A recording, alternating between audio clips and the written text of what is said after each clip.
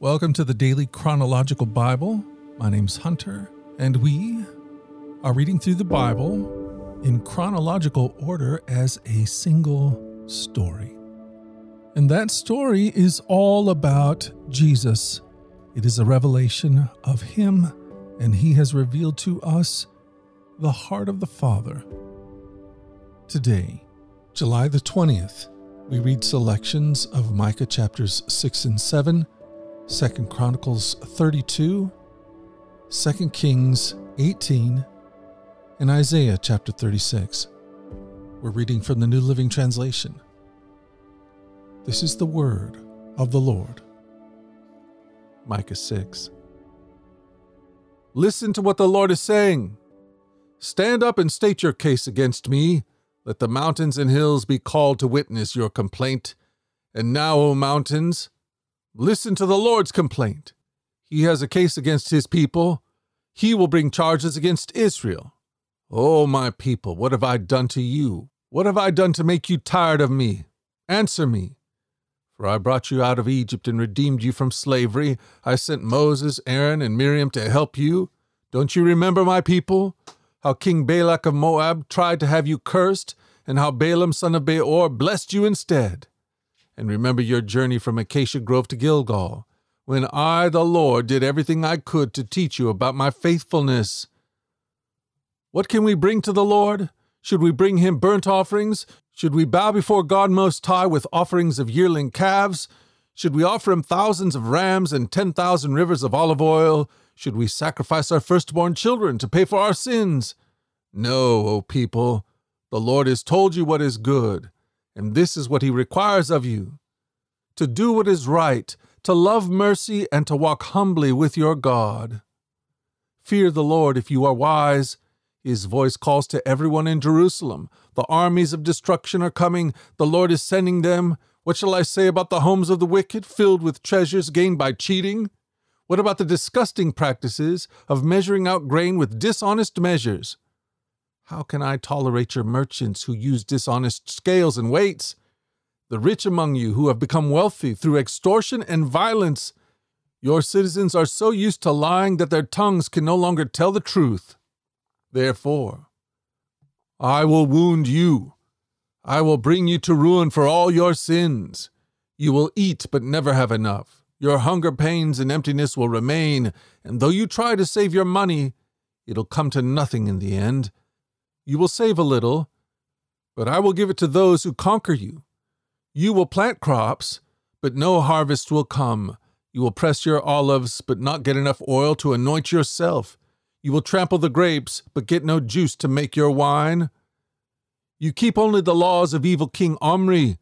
You follow only the example of wicked King Ahab. Therefore, I will make an example of you, bringing you to complete ruin you will be treated with contempt, mocked by all who see you. Micah 7 How miserable I am! I feel like the fruit picker after the harvest, who could find nothing to eat. Not a cluster of grapes or a single early fig can be found to satisfy my hunger. The godly people have all disappeared. Not one honest person is left on the earth. They are all murderers, setting traps even for their own brothers. Both their hands are equally skilled at doing evil. Officials and judges alike demand bribes. The people with influence get what they want, and together they scheme to twist justice. Even the best of them is like a briar. The most honest is as dangerous as a hedge of thorns. But your judgment day is coming swiftly now. Your time of punishment is here, a time of confusion. Don't trust anyone, not your best friend or even your wife.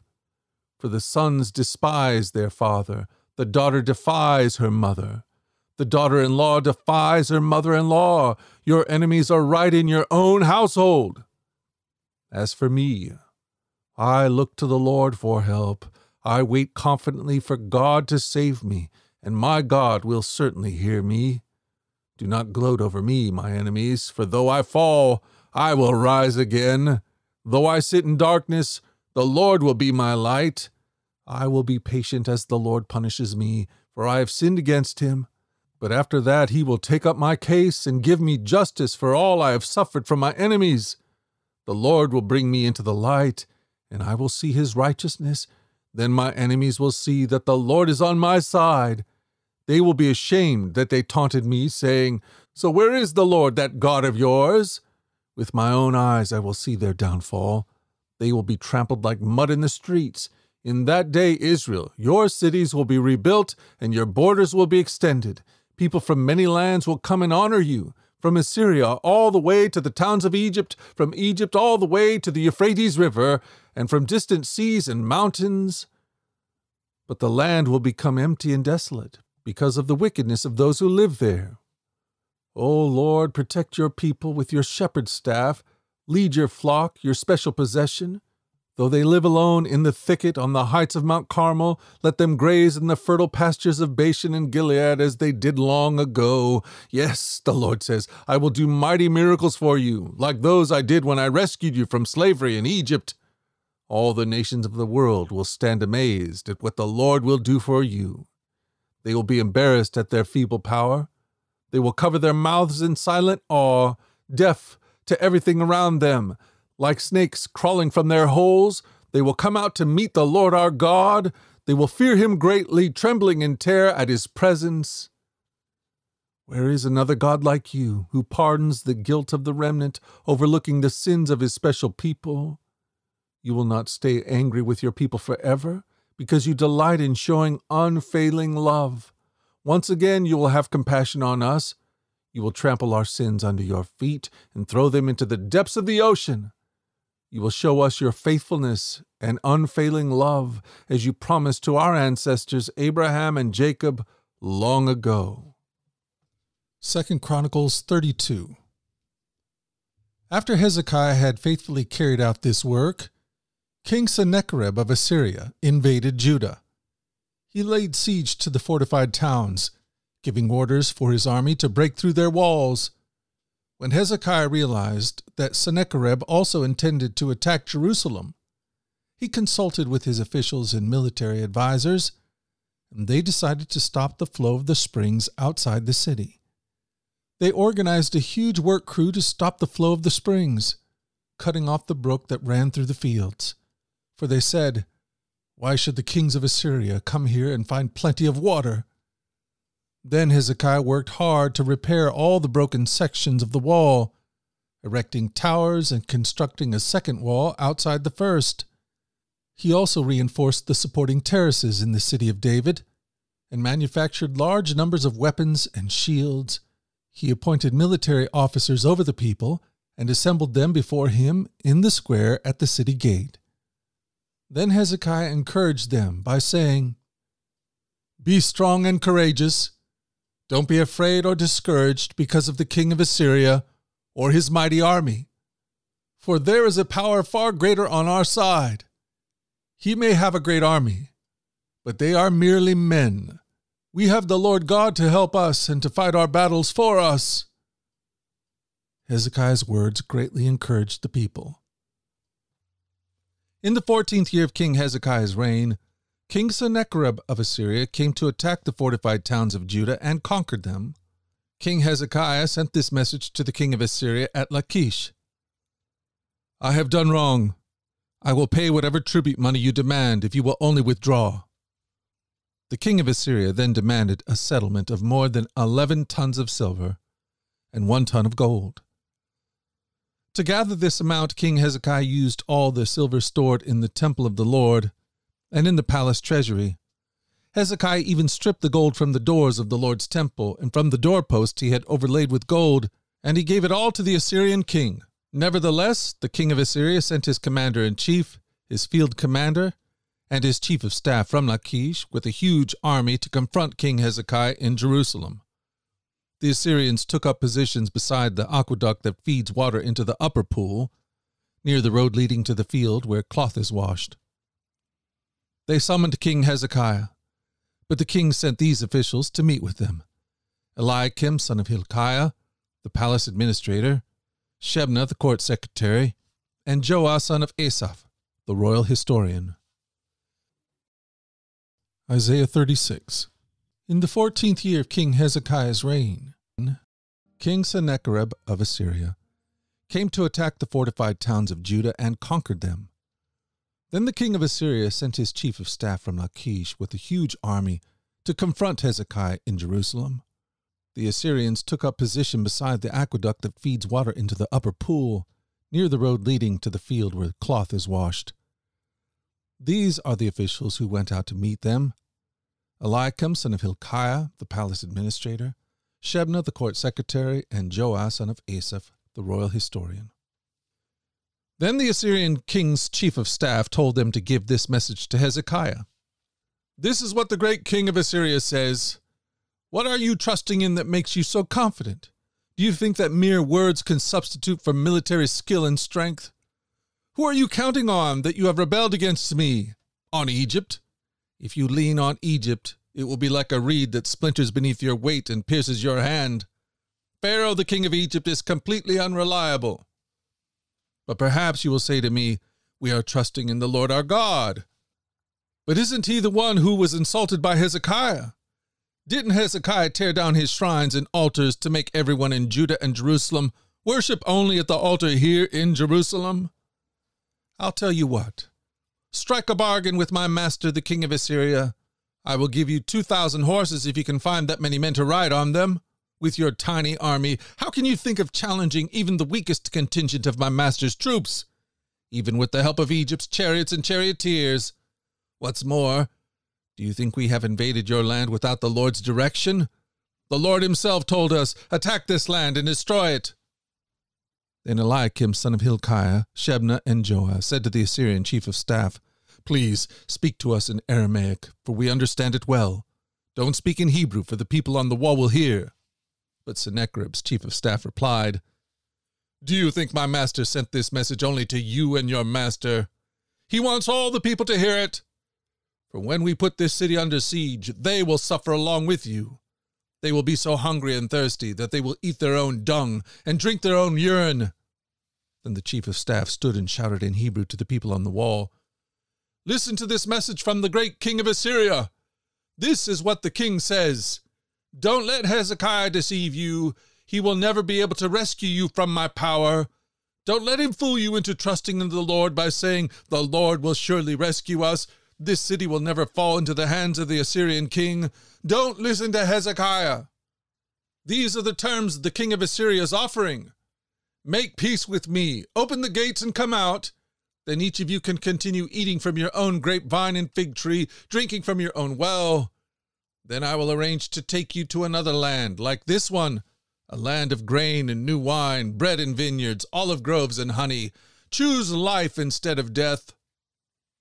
Don't listen to Hezekiah when he tries to mislead you by saying, The Lord will rescue us.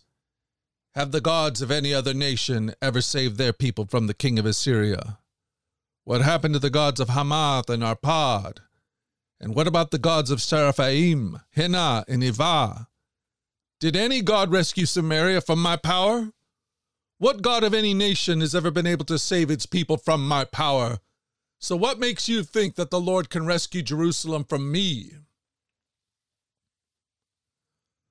But the people were silent and did not utter a word, because Hezekiah had commanded them do not answer him. Then Eliakim, son of Hilkiah, the palace administrator, Shebna, the court secretary, and Joah, son of Asaph, the royal historian, went back to Hezekiah. They tore their clothes in despair, and they went to see the king and told him what the Assyrian chief of staff had said. Then the Assyrian king's chief of staff told them to give this message to Hezekiah This is what the great king of Assyria says What are you trusting in that makes you so confident? Do you think that mere words can substitute for military skill and strength? Who are you counting on that you have rebelled against me? On Egypt? If you lean on Egypt, it will be like a reed that splinters beneath your weight and pierces your hand. Pharaoh, the king of Egypt, is completely unreliable. But perhaps you'll say to me, We are trusting in the Lord our God. But isn't he the one who was insulted by Hezekiah? Didn't Hezekiah tear down his shrines and altars and make everyone in Judah and Jerusalem worship only at the altar here in Jerusalem? I'll tell you what, Strike a bargain with my master, the king of Assyria. I will give you two thousand horses if you can find that many men to ride on them. With your tiny army, how can you think of challenging even the weakest contingent of my master's troops? Even with the help of Egypt's chariot and charioteers. What's more, do you think we have invaded your land without the Lord's direction? The Lord himself told us, Attack this land and destroy it. Then Eliakim, Shebna, and Joash said to the Assyrian chief of staff, Please speak to us in Aramaic, for we understand it well. Don't speak in Hebrew, for the people on the wall will hear. But Sennacherib's chief of staff replied, Do you think my master sent this message only to you and your master? He wants all the people to hear it.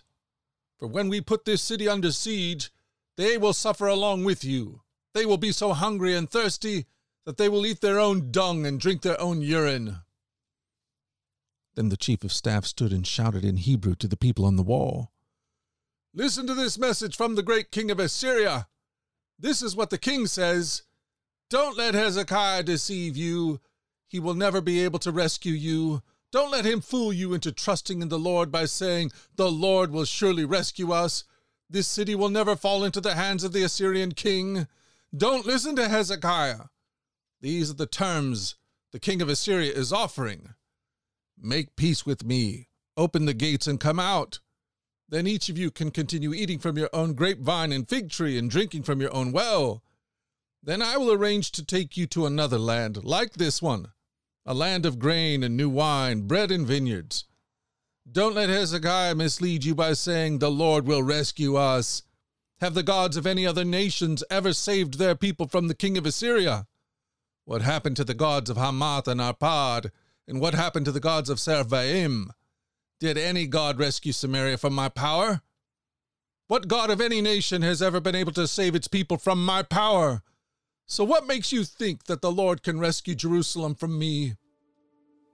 But the people were silent and did not utter a word, because Hezekiah had commanded them, Do not answer him.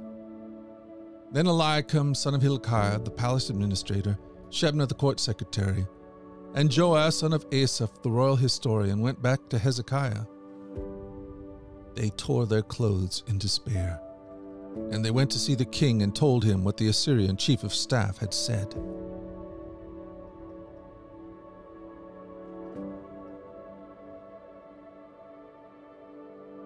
Thank you for joining us at the Daily Chronological Bible. You can find the specifics of our reading plan in the One Year Chronological Bible published by Tyndale Press and discover more about our other podcasts at dailyradiobible.com, where people from all around the world come to join us in this journey through the scriptures, where we allow the scriptures to point us to the God who is love, the God revealed to us fully in Jesus. Again, that website is dailyradiobible.com. Subscribe or follow wherever you get your podcast. Until tomorrow, let's go forward in God's joy. Let's let His joy be our strength. And let us always remember this that you are loved. No doubt about it. Alrighty, I'll talk to you again tomorrow. Bye bye.